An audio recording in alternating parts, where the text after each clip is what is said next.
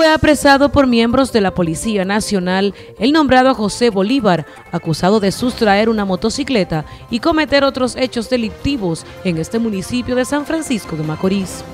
Al ser cuestionado mientras era conducido al Comando Noreste, niega las imputaciones en su contra.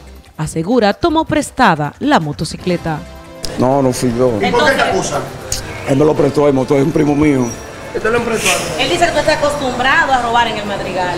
No, yo nunca había robado en Madrid a ninguna parte. Pero él dice que Sí. lo conoce usted.